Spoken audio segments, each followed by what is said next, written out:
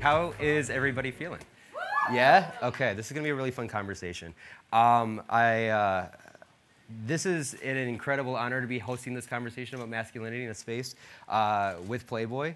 Uh, the idea, and that's the key word, the idea of masculinity and femininity are changing right now. And we see that in the way that people, and especially younger generations, are exploring or identifying as or questioning norms, um, as well as through the rise of sexual fluidity, uh, gender nonconforming, breaking down to binaries. Um, and this creates a huge opportunity for Playboy. We're a brand that, for in a magazine, I would actually say, uh, uh, magazine. I'm the executive editor of the magazine. Just yeah. So that's the, that's from the perspective that I will be speaking from. Um, we, for a long time, uh, our tagline was entertainment for men, and we took that off okay? Because Playboy is a universal brand. It's about pleasure. It's about who you are. It's about owning your identity. And so much of that is, is so important for who we are as a magazine. That being said, when we talk about masculinity and femininity in this moment, what is that going to look like? I wonder what does that mean for Playboy? And I am so incredibly honored to have two people who have had these conversations with us previously within the past year um, and who ex whose experiences are really, really going to offer some, some new light here. Um, I would like to, I have to introduce them, but I would like to start by reading uh, uh, from, from articles that we did an interview with uh, Sarunas, and, and Nico wrote something for us uh, last year uh, tied to the Pride season. So I'm going to start with what, what Nico wrote for us.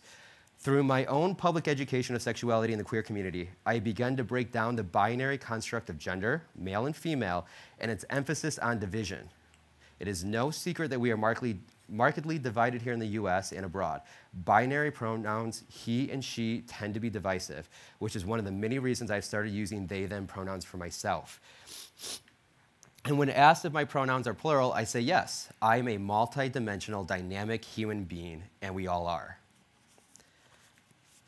And with that, I want to talk about, a little bit about what Sarunas told us. He told us with the climate that we're in right now, especially black men, you have to be the strongest one, the most, most athletic one.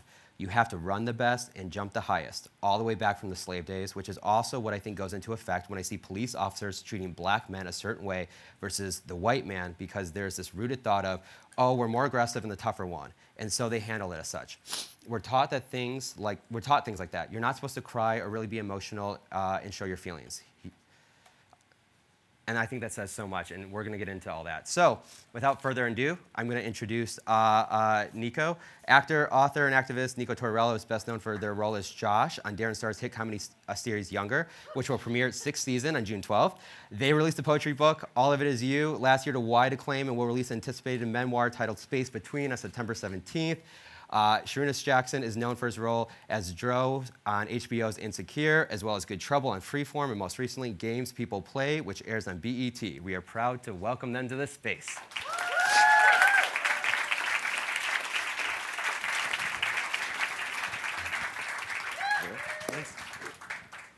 All right. Uh, That was great. Yeah. Yes? That was a solid Okay. introduction. All right, good. I'm getting, I'm getting, I would have messed that up. I'm getting into my flow. I'm all right, y'all come out here. I just come to this. Um, so we can't talk about masculinity without talking about the root or the, the, the origin of masculinity, which I think is something that we learn from our family, from the people we grew up around. And I want to start the conversation with you because you recently became a father. Yes, I did. Yeah. yeah. And I want to, how has that changed your views on, I would just say, manhood, knowing that the world you create today is going to inform the world your daughter lives in? Right. Great question. Um, for me, I think I was fortunate enough to begin this journey a couple years ago, a few years ago, um, kind of just understanding things differently, going about things a different way. Um, so a lot of the work I did prepared me a lot to become a father. Even I, even though I wasn't expecting for her to come, uh, my daughter's in. Um, I just I felt prepared that she was here and comfortable because the man I am today is way more open, um, a man that listens, and that's somebody I want to be for my daughter and give her something where a space where she's comfortable to share anything, right? And I know when we're not around her, me or her mother, Dominique, um, she's gonna be at school with different people who are taught different things. And uh, for me, um, as a, a, a man who identifies as a straight man, I just want to show her that there isn't a uniform thought, or there's not supposed to be this uniform way of acting um, for a man and a woman. Mm. Um, there's just, to me, I just be a good human being, and that's why I want to teach her good morals and stuff like that. So that, that I think that's the main thing. Um, and with her, when she actually got here, I just, it just kind of even elevated even more in me to be sure to practice what I preach as well. Nico, you have uh, you've told me that it was roughly around two years ago where you your relationship with the gender binary and with identifying as male started to change and shift.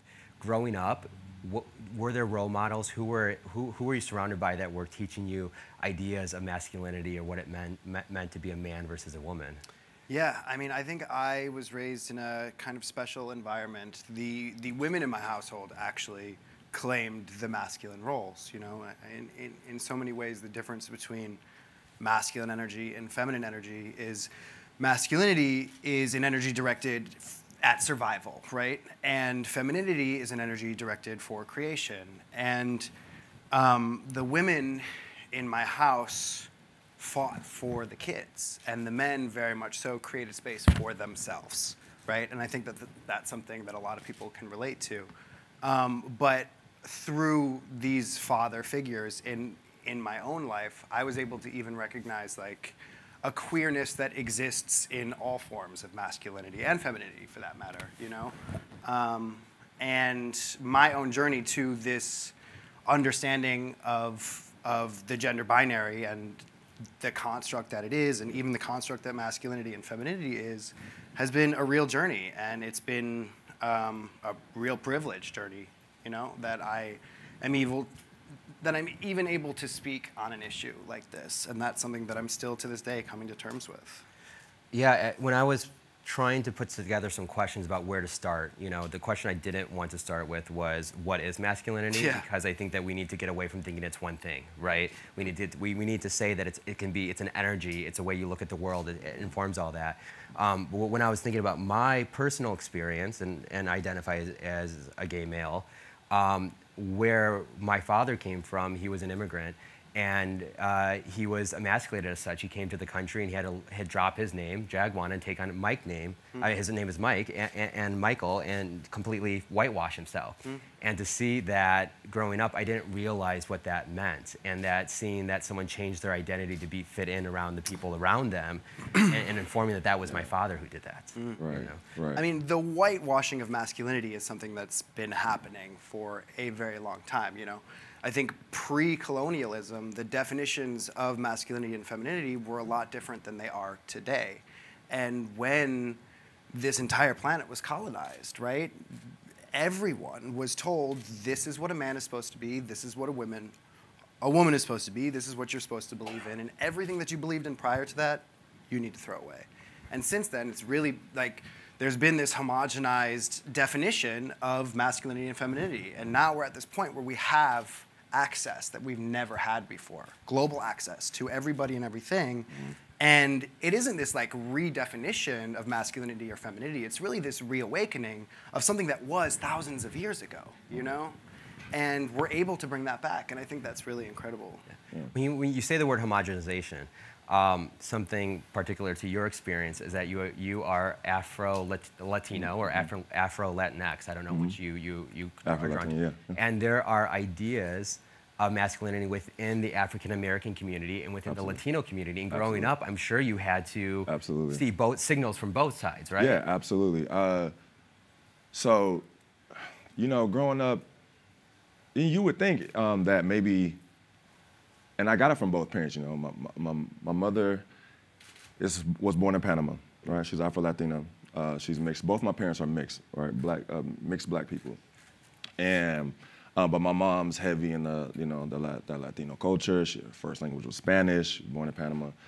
Um, if anything, I would say maybe there was things that were forced on me more so from my mom actually than my dad. Now, I mean, they both had it, um, but it's just interesting because this is just what they were forced. You know, uh, this is what they were taught. Yeah.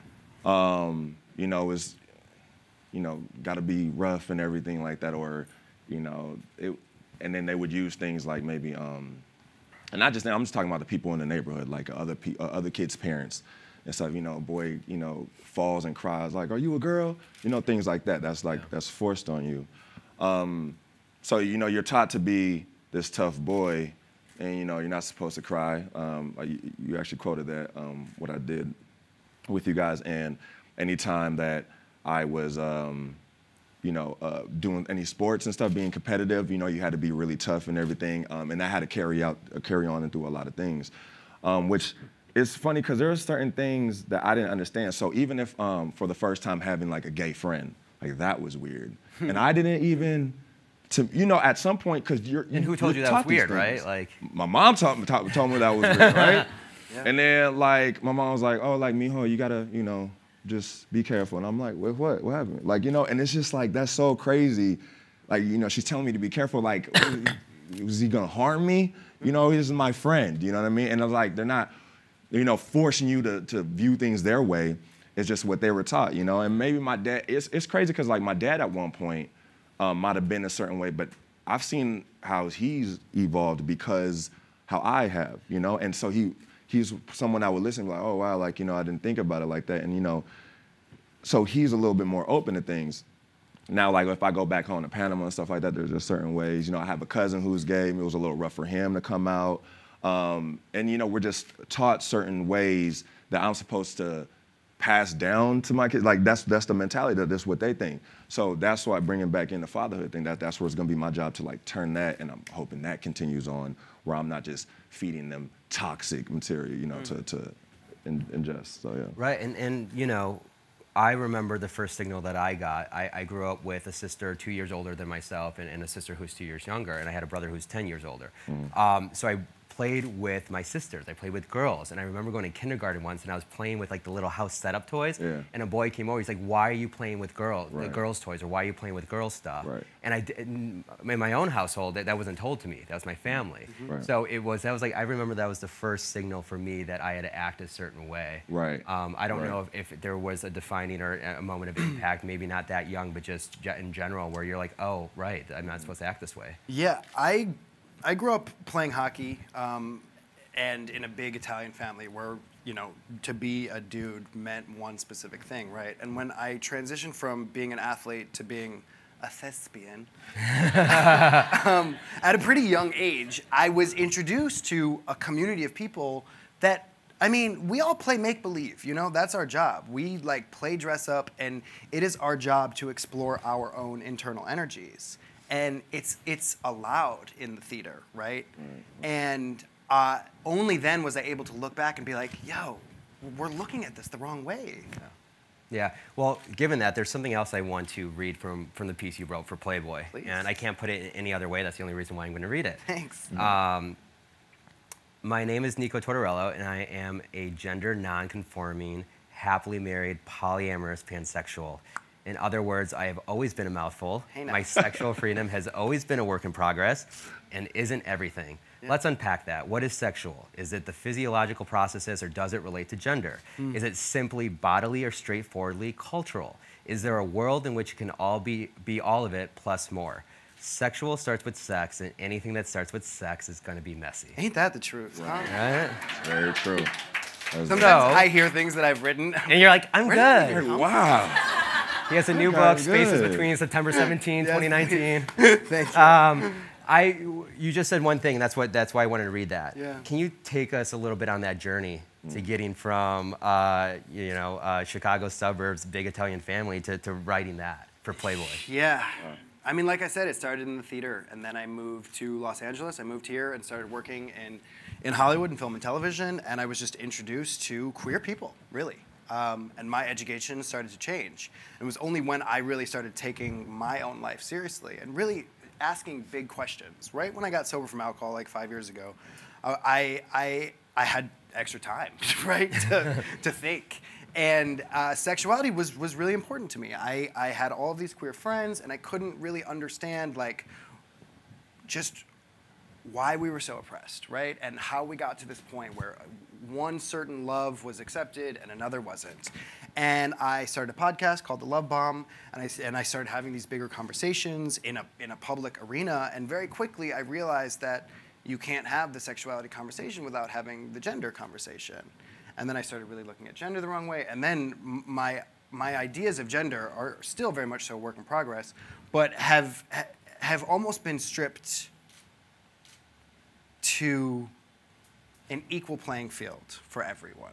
I know that's kind of a problematic thing to say, but if if gender isn't necessarily what we were taught it it is, then what is sexuality, right? Like if if if a man doesn't look like a man and a woman doesn't necessarily look like a woman, then sexuality kind of doesn't have legs to stand on. And then it just became this like theoretical spiral that I'm constantly finding myself living in. And I write fucking garbage like that. um, but it's, it's, it's really, I know I already said this, but it's, it's this, it's a really, I recognize how privileged uh, of a conversation this even is. You know, I, Yeah. I was sitting here in the panel. I don't know if any of y'all were in the panel before this, but um, the world is on fire, right? Like this country is on fire, and I can't necessarily put my finger on a certain point in history where things were okay for everyone. It, it just hasn't ever existed, right? Yeah, that's why I don't get the make it great again. Y- y- For who? For who? right? Because me and my folks wasn't out here like, yeah, take us back to the 50s. Like, we ain't, you know what I mean? That's just that. I never understood that, yeah. It's never been great for anyone, and I kind of left that conversation a little like defeated. Yeah. Um, and now we're here talking about masculinity. It is. You know like, what? I, you know, we, we had a Nico and I had a conversation up in the green where before this, and we, we had that moment where I, I was mentioning you can't really um, empathy might not be biologically hardwired in the brain, and that's what that conver- I left a little defeated too. And how do you And- teach empathy? Yeah, and then, but but this is what this is where I think going into this conversation about masculinity for anybody who was in that conversation with Roxanne and Kathy is is the idea of masculinity. I, I hear role model almost means synonymous. There's something being a relationship with it, right? Hmm. Um, where femininity, there's there's not it's it's not necessarily role model, right? We It haven't depends on who you're asking and, Right. and where you're from. You Yeah. know? Right, It changes drastically Right. depending on what part of the world you're having that conversation in. Right. I do want to. I do want to ask you about.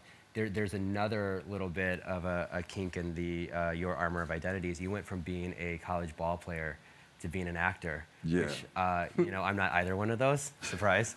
uh, so I don't have. But what what was that?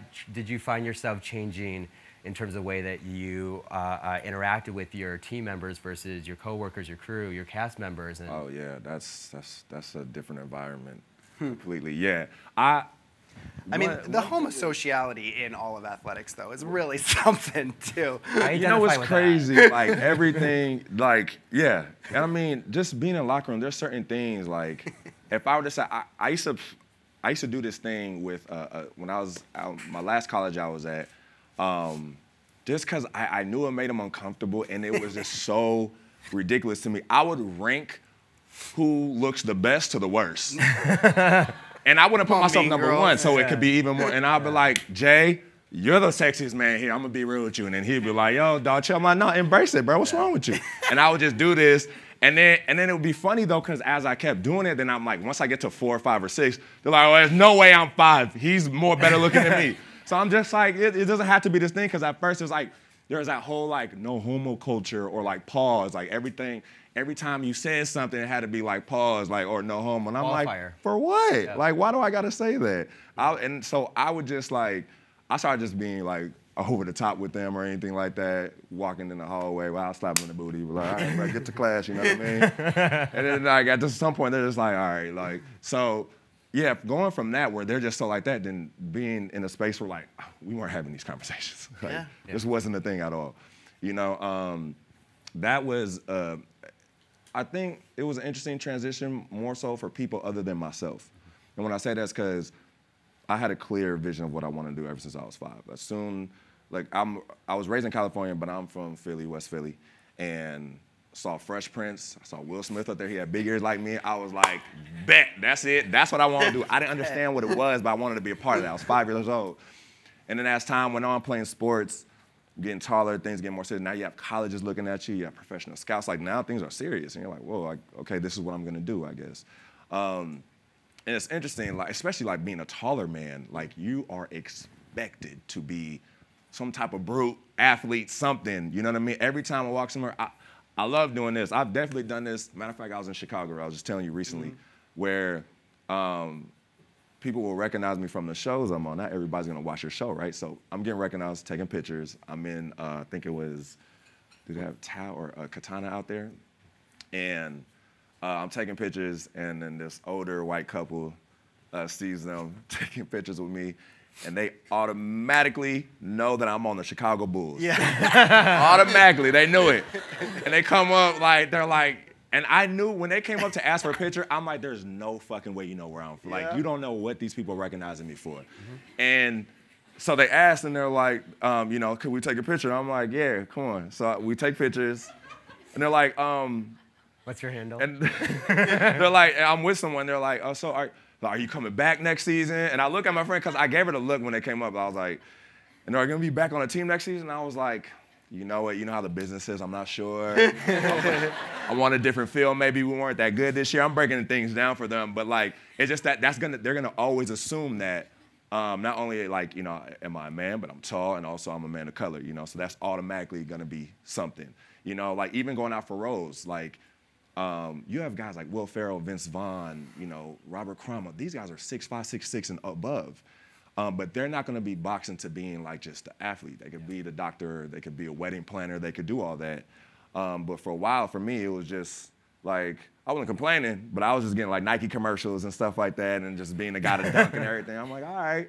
But you know, I knew what I wanted to transition to, and going from there, I, I knew I was comfortable with myself because, you know, I could talk to my to, to guys I used to play with, and um, you know, they'll ask me questions, and I could just see where their mindset's at, you know. So I just, you know, I'll talk to them for a little bit, and that's it. But this is a space I feel more safe with, just because more people are open-minded, and that was the thing that was a, a relief for me to be around more open-minded individuals. yeah. Mm-hmm. Yeah. Do you great. feel like the fetishization of your body was different in athletics than it is in Hollywood? And which one kind of is more Ooh, intense? damn, are they really different? I mean, they are different. Like I played professional ball in Asia, right? And I mean, that was a different fetish. Like, they just, like they, like there was two ways. Either like the older generation, uh, they, I mean, they they were mad racist. They would be like running away from me. My, so there's two Americans per team usually, uh, depending on league. And so me, my uh, like my boy Ramal, um, he's a black man, darker skins. We go in the elevator and they'll just like run out. That happened to us a couple times. It was just like, so you know what we started doing?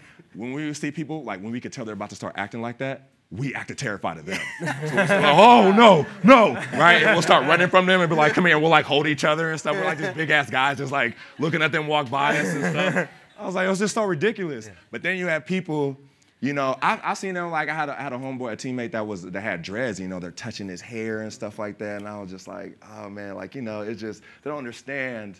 But it was just so like weird. So like to be that that's different. But then in Hollywood, it's like there's so many levels. Just to be brief about it, because so many levels. It's like um, black people are usually sexualized for sure.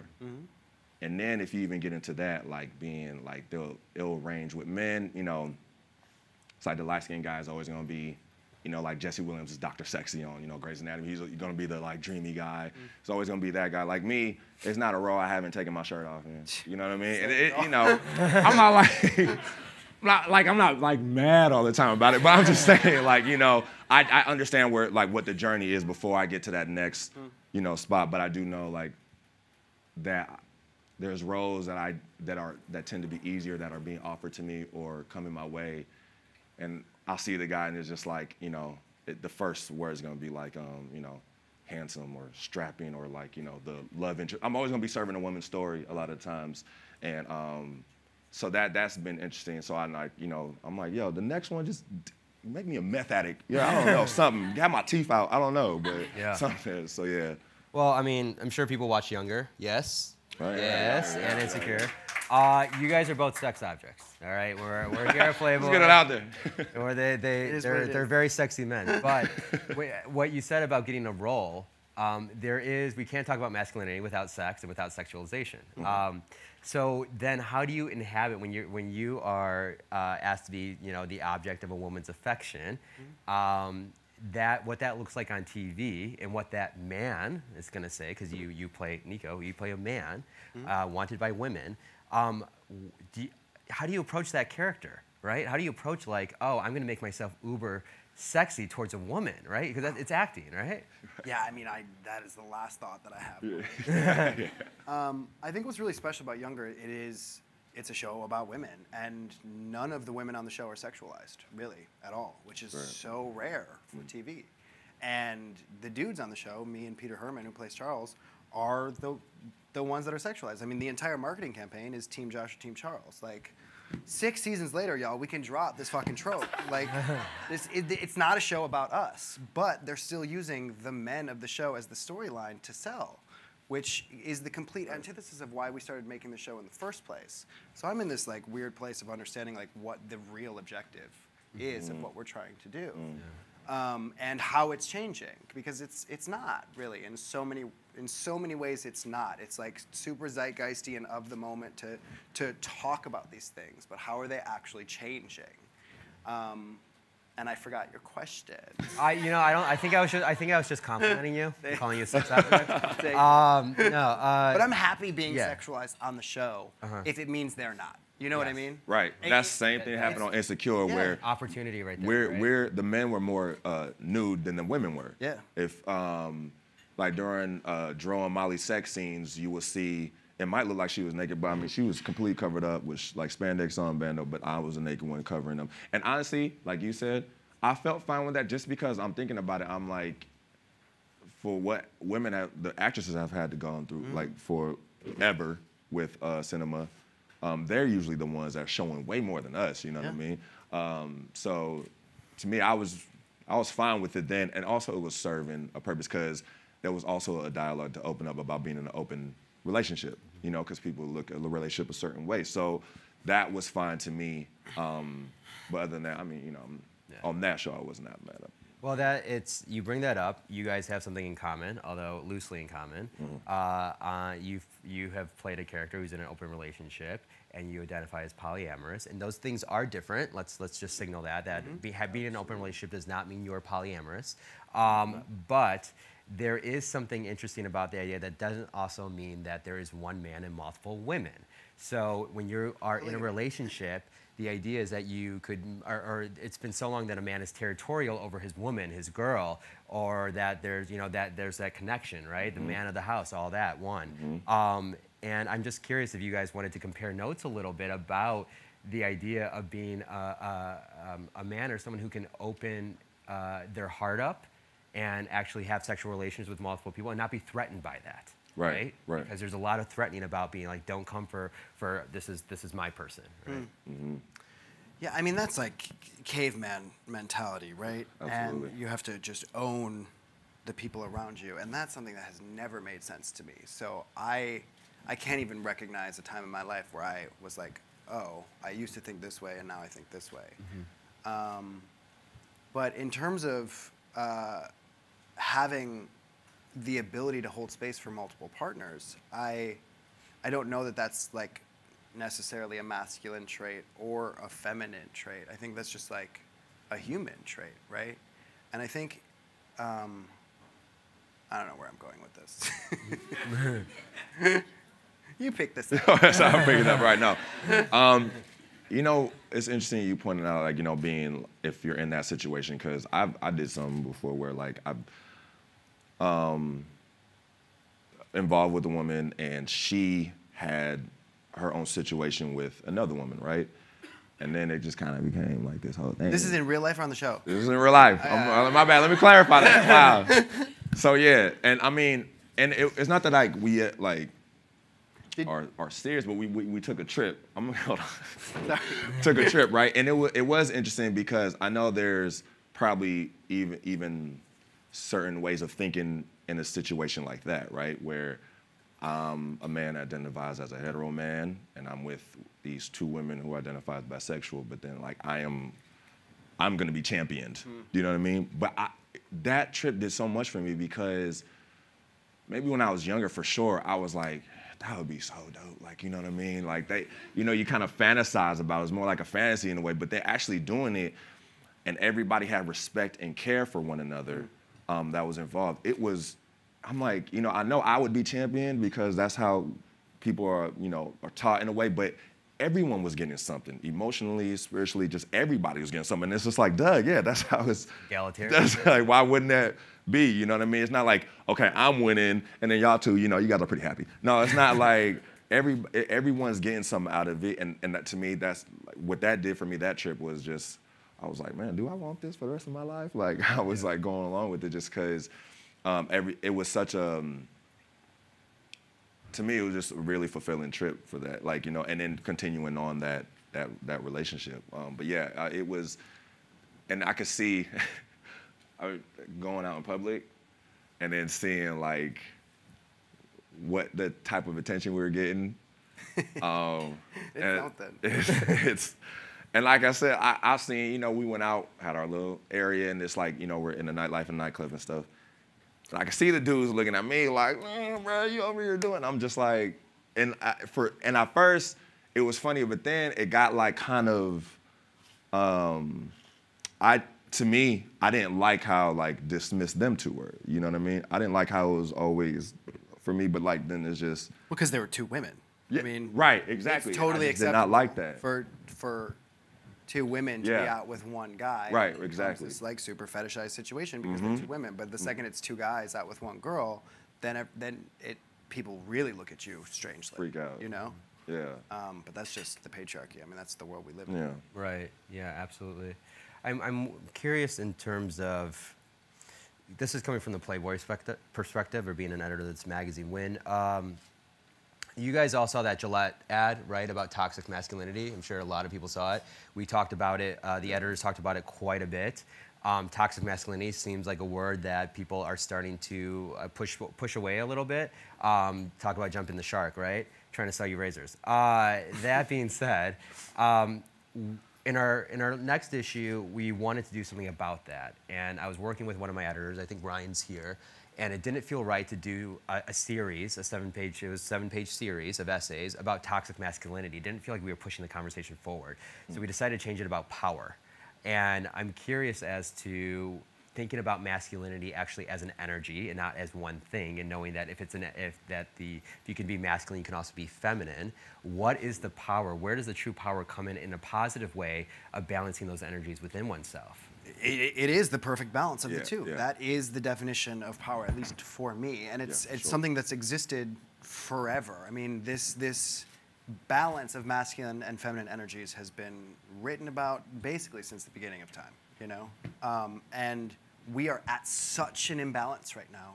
And that is why toxic masculinity has become this, you know, zeitgeisty word. Um, and I think what toxic masculinity really is at its core is is not just men, Absolutely. is people not being able to face their own demons, so they push them out on other people, you know. And but let's be clear, toxic femininity is a very real thing too, you know. Absolutely. Apparently, it's not a safe space to say that. um, but it is, you that, know. that- you talk about that balance, like for me, l- me learning that balance, like I'm gonna get real kind of hippie with this, right? So I did. All right, all right. look. no, no come on Yeah, all right, Can look, lean look, in with you i'll lean in with you I so you guys know what ayahuasca is? Shut yes I can talk about this forever. Man, look. Wait, So? I, I had, had an experience. where? Beautiful. Want to know where? Here? Here in LA. but it was in a safe space. I didn't feel like I was in LA. But um, so, but the I'll just say the small part of this experience where I just remember there was a I, I saw everything as energies in a way. So I saw like uh, sexuality, I saw that as an energy, masculinity, femininity. So when I, I saw like, I remember seeing the masculine side of me and the feminine side of me really meet, and it was this really beautiful thing. And I never, it kind of made me understand it. Maybe I've had these thoughts that I just could never put into words, but it kind of made me understand a little bit better. And I remember just, so me, I identify, you know, like I said, as, as a straight man, right? Um, I even at times consider myself maybe as an alpha male in, in a sense, but maybe that's because I feel sometimes that status is given to me in a sense. And but a part of me realized like what makes me feel so comfortable about about myself, and so others view that as, um, you know, some alpha type of energy, was that I am completely okay with my feminine side and abra- embracing that, right, as much as my masculine side. Um, I think I was fortunate enough where my father, I will say, was the one that would not shame me for crying. Um, and I did get lucky with that because not all the other boys in, in the neighborhood had that. Um, so if we'll watch a movie, he was completely fine with crying. And that, because I remember he saw me trying to fight back my tears watching a film one time. And he was just like, let that out. He was like, you, you think that make you less than man? That, that makes you like, you know who, in his, in his words, he said, in more of a man. That's what he thought. If you're able to embrace your emotions and feelings, you know? Um, but he just said, you know, you don't, you know, you don't have to hide that. And I was, I'm, I'm really grateful for that, to at least have that because that helped me going on. I mean, I was watching WALL-E the other day. That's a Pixar movie. Y'all seen that? While I was tearing up in that bitch, I was like, damn, WALL-E alone? so, you know what I mean? It was just, so, but, but that wasn't like okay with everybody else. Like people be like, you cried in that movie? Like guys will say that like it's a weird thing. I'm like, yeah, I did. Yeah, but shit moved me, bro. But like, so I think having that balance though has, I think that's, this is the most comfortable I've been in my life with myself, mm. right? The most. And because finding that, that balance and a lot of incredible women and men that, that have been homeboys of mine, but that still have that balance as well. Having these people in my life to, to make me realize that and see this balance that I can have um, and not shame me for one or the other um, is something I've been really grateful for and makes me so secure and comfortable with myself at this point in my life. Even though there's way more to go, you know, way more to learn. But yeah. I mean, I have drank ayahuasca like over 25 times. and yeah, I, I study plant medicine fully. For sure, Yeah. for sure. And uh, the majority of my work, the f- first half, uh, is was all in masculine and feminine energies. Mm-hmm. Right. And I think what, what plant medicine does is show you that, that we exist in every part of the natural world. Right. You know? And that masculine and feminine energies exist in every animal, in every plant, like everywhere across the board. I, I mean, you asked me where that came from, mm-hmm. and I actually look at my life as before ayahuasca and after ayahuasca. I wasn't having these Crazy. huge grand thoughts. I know it seems crazy, y'all, but like, But it's, it is crazy it's though. fucking insane. You're- it's really wild. From 68, we'll be holding a session. Come on by.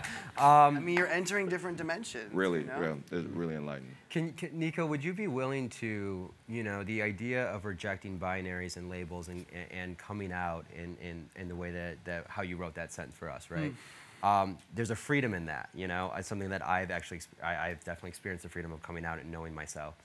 Have there been tensions that you didn't, that, that you've had to um, uh, uh, battle or face head on or confront that kind of almost push you back into uh, uh, what society wanted you to be? Were there ever moments where you, you were, oh wow, like this is more difficult than I thought, and maybe I have to be, I, I- shouldn't have deviated this far from the norm? Yeah, I mean, across the board, I feel like I've come out three different times. I came out as like queer, bisexual, and then I came out as non-binary, and then I came out as, as polyamorous. Like they all hold these different weights, right? And depending on what I'm actually talking about, somebody will have something to say.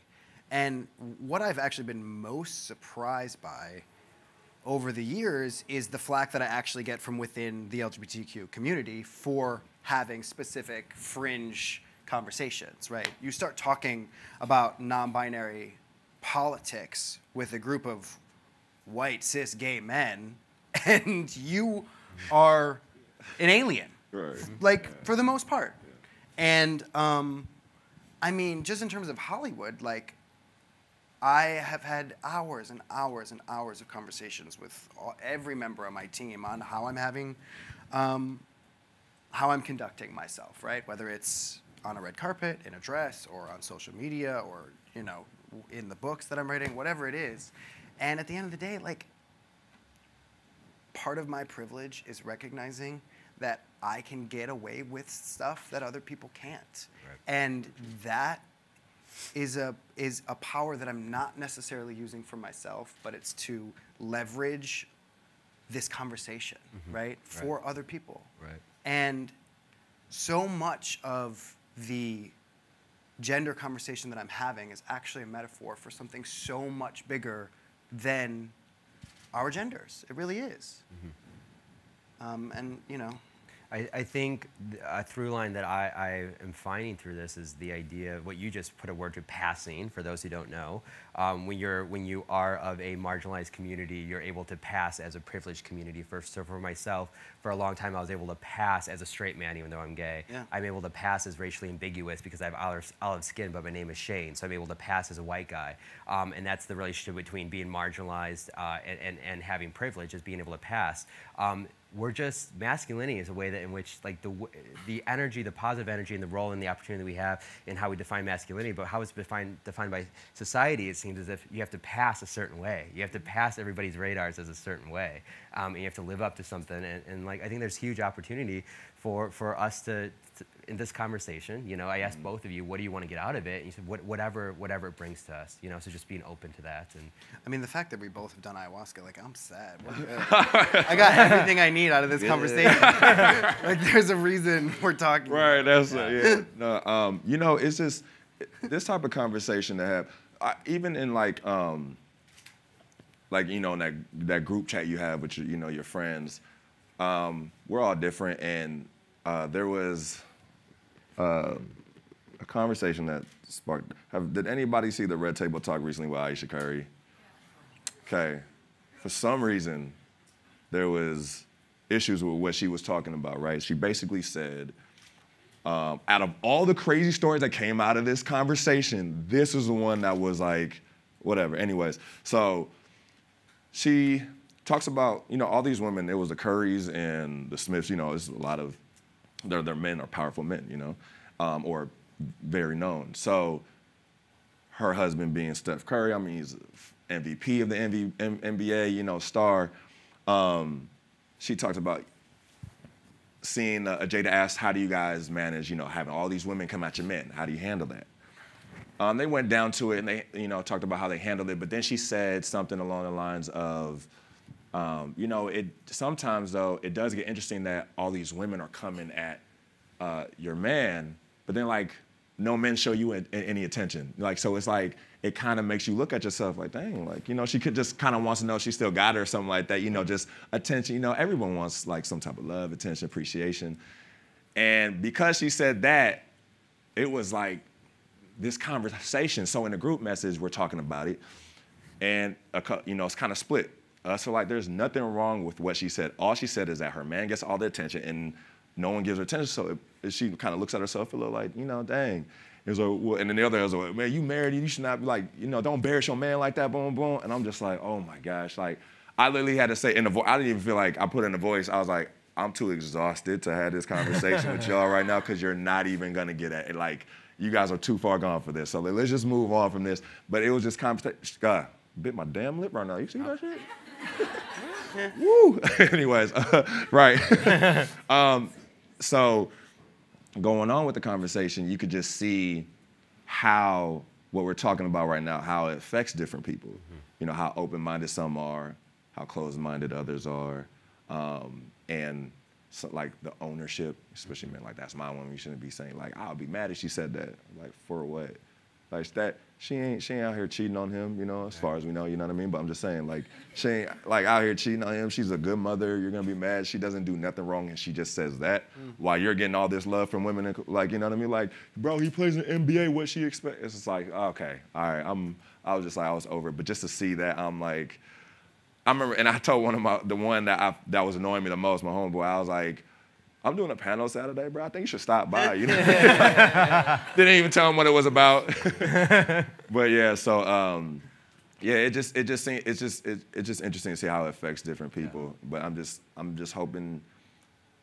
You know, I, I'm very happy to be like we said. We're very privileged to be having this conversation because in other places in the world you cannot talk like this at all without severe punishment. Yeah. Um, so just see where this goes. Is, uh, I'm ex- in, intr- intrigued. Hmm. I'm like, so Intrigued. excited. Yeah. I think just going off that thought, I mean, the way that we react to things, the way that people react to news or whatever is happening, mm-hmm. is a direct reflection of our own internal issues, right, that are coming to play. And that's mm-hmm. why, like, we put so much emphasis on big things that are happening in the world or news or this interview. Right. Um, because we can't deal with what's going on in ourselves. So we put it on all of these other things. Mm-hmm. I mean, that's why we watch The Real Housewives of Beverly Hills. Yeah. You know? Escapism. Yeah. Yeah. A little guilty pleasure. Um, we could we could go on. We're gonna take some questions though. We want to hear from you guys. So uh, raise your hand, and we'll give you a mic. Hmm. Yeah. Hello, everyone. Hi. Is that him? Hey, buddy. Hot seat. it's that time. What's up?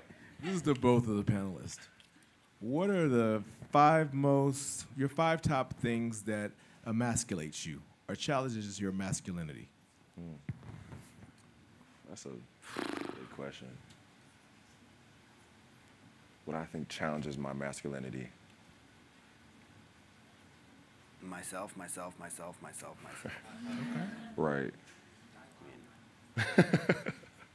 Somebody we said are our own worst enemies, you know? Yeah. And if you, if I'm standing in my own way of really understanding what masculinity even is, then I'm not going to get there. Yeah, I think it's for me. It's breaking down, you know, what I what I was taught. Um, there's just even like for an example, I remember being in high school, and because you know, however, family members felt about homosexuality. Yeah.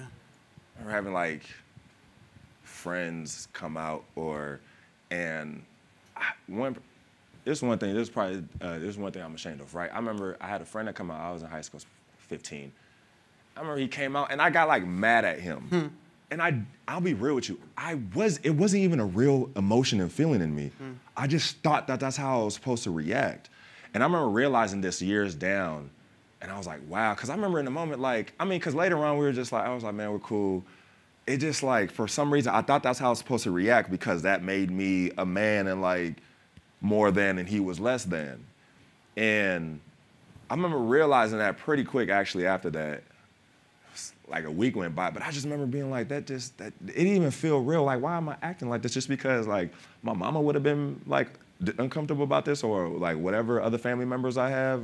Like that's if that's not me, that's not me. You know, I didn't I didn't I didn't care. Like yeah, who who you are is who you are, right? So, uh, and I remember having that conversation with him, and uh, that was a friend I had that really helped me um, as far as opening up my mind because what I was surrounded by just wasn't that giving me that, um, and that was a big challenge for my.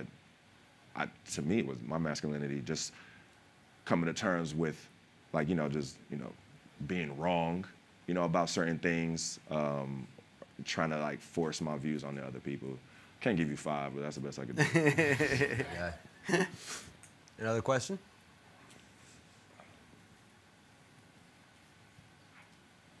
Um, hi. Um, I guess like something that I personally struggle with, and then I'm wondering how you guys feel about it, um, is the reconciliation between like gender being a public political act and something that you present to others, while also being something that's individual and personal and something that you have to understand um, in your own um, microcosm. Um, so I was just wondering, like, how you reconcile that identity, like, between what you present to others and what, um, because a lot of like what you're talking about, it seems like gender is something political in what you're talking about. Like, it's something that like you, you you present to others, and I'm wondering like how that, uh, how that plays into your own personal. Yeah, I mean. I think there's a real fluidity to all of it. There are some times where I will feel like hyper feminine but present super masculine just to balance it out, or the other way around. Or one day I'll wake up and I'll have, like feel a great mix of the two. Um, I think I'm in a specific position where like I'm able to play with it and it's safe for me, you know. But so many of my friends, specifically trans feminine people of color in New York City still to this day walk outside and get my best friends get spit on, hit every single day they walk outside. And um, so much of the work that I'm actually doing right now is to bring that conversation to spaces that that aren't having them, right? People don't recognize like it is it was the deadliest year for trans women in the United States last year mm. to date But we have shows like RuPaul's Drag Race and Pose, snatching Emmys left and right. I mean, the girls are gagging for these death drops, but these girls are out here fucking dropping dead, and nobody cares. When Matthew Shepard died, the white cis gay man, the entire country banded together and did something about it. Why can we not do something about that right now? So yes, gender is absolutely political, and I think I'm dealing with it on a personal level too. Um, but like in the larger scheme, my my personal journey through gender is so much more um, global than this body. It just is. Because I recognize I have the power to talk about it and make changes in ways that other people can't. What was this? no, I, yeah, he, yeah, he. That was, I thought that was more geared for you. Um, sorry. We're good. Next question. yeah, yeah, yeah. That- that's that's basically it. Hi. Uh, this is actually a question for the entire panel. Thank you. Okay. the question is Playboy itself is no, no longer a strictly male magazine. So, which is going to be shocking to some people that haven't seen the transition for, uh, for the last few years from the time that um, its founder passed away and creative directors changed and all this other stuff. So there's going to be a lot of men that are not in the same uh, ayahuasca space. uh, even though they may not have noticed the history of the magazine itself, like uh, I noticed that on the Instagram post, uh, one of my old teachers, Allen Ginsberg, was actually uh, in an issue from 1969, uh, which I have that issue, and I actually saw the cover of that issue. Of course, it wasn't mentioned that like the other things that were in that, but Ginsberg, if anyone doesn't know, was uh, um, uh, poet and gay activist, and yeah. So anyway, but uh, also uh, you're dealing with also different communities, as you well know, and within those different communities, you're going to have different views of masculinity.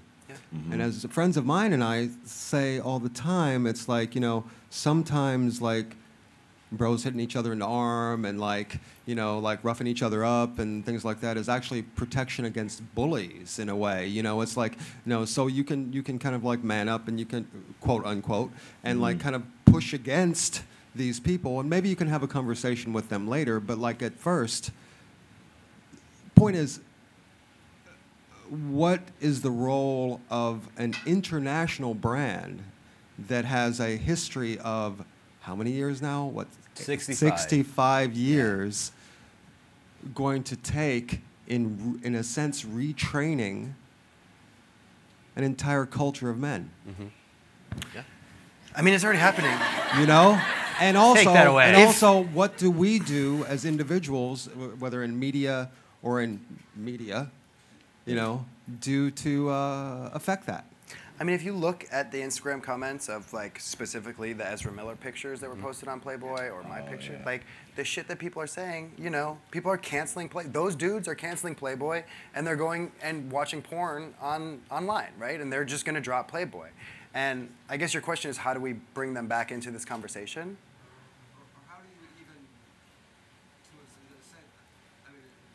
Like retrain that. They're gone. Yeah. But like, but there's also like, you know, I have a 14 year old son. You know, my 14 year old son is like completely fine with all sexuality. Mhm. You know, as well as my uh, you know 17 year old daughter. Right. Uh, my four year old daughter is probably going to be even better. Mhm. You know, so it's like so. 65 years. What's the next 65? Um, I, I've, well, uh, the, the next 65 years starts here, right, in this room, right? Um, to, to relate to what I said earlier about how for a long time this, this magazine, which we, we are fully aware of the impact this magazine and this brand has had culturally um, in, in, all, in all ways and all forms. The idea of taking off something entertainment for men does not, and, and taking that off does not mean that the magazine is no longer entertainment for men. Um, if you were to flip through the issue or see what we're doing, we are presenting um, all the the, uh, the world that as we see it, and we are working to create a world in which, in a culture. Yeah. And it's gonna, and like you said, it doesn't start with one article, nor does it start with a press release, okay? It doesn't start with one event. But what it does is you, everybody in this room, going out and, and saying something and hoping that, you know, with, with us, it, we, we, we're not leading the charge, nor, nor should, do we claim all that, that responsibility to lead the charge in this and re engineering the next generation. The world in which Playboy launched is very different. We didn't have social media, we didn't have, we, our platform was amplified. We have these interviews here, and we gave the- these people, and the, Allen, Allen Ginsberg was a Playboy interview, 10,000 words, right? We, we, that, that was fantastic. That doesn't necessarily work the same way. So what we, what we can do, though, is take that photo of Ezra Miller and put it on our Instagram of 7.3 million followers and say, hey, this exists and this is okay and this is real and this experience is valid and everybody else's experiences are valid and we are here to talk about that and we want to work through that. And, and in terms of changing one generation, you know, uh, uh, that we Playboy can't do that, all right? But we can contribute to it and we can Right. try, and that's what we are we are working to do. And and um, and we, we have these conversations all the time in the office, all the time. And while at the same time, the, ne- the, very, the very next post uh, on the Instagram account was green. Uh, Was what? I'm sorry. today. Oh yes. uh, like an hour ago. Yeah. Uh, and uh, know, you know, uh, and uh, you know, it's uh, really nice of uh, young lady's panties. So I mean, Th- It's the whole spectrum here. We're celebrating the spectrum, and that's We what show this love to is all everybody, about. you know? Yeah. Yeah. Yeah. I think, you know, going, because it's not just like moving forward, like, you know, how Playboy does, you know, we're talking about everybody, right? Just a whole generation of people. And, um, I mean, like you talked about coming from different communities. I, um, me and the Men of Insecure did a spread uh, uh, with GQ. It was a comedy issue, right? it was like fun, goo- goofy stuff.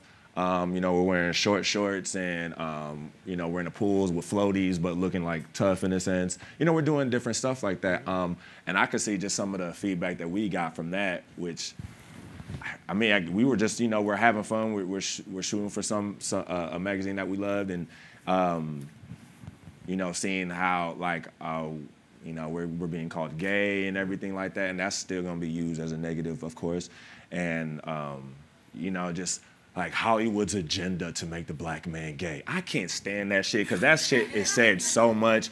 When Moonlight came out, and just like how there was, bo- I mean, like it was a, a respected film, but then you'll just see the people like, you know, Hollywood's agenda to make the black man gay, and I'm just like, I, I don't have enough breath in my body, and I'm 6'8", right? Yeah. I just don't have the, Yeah. Yeah. yeah, yeah. We're gonna so, take we're gonna take one more. We have time for one more question. No, we're good. Okay, that's it. I'm so sorry. We're good. hey. okay, my bad. She said, no, no, no, no, no, that's it. There's no clock.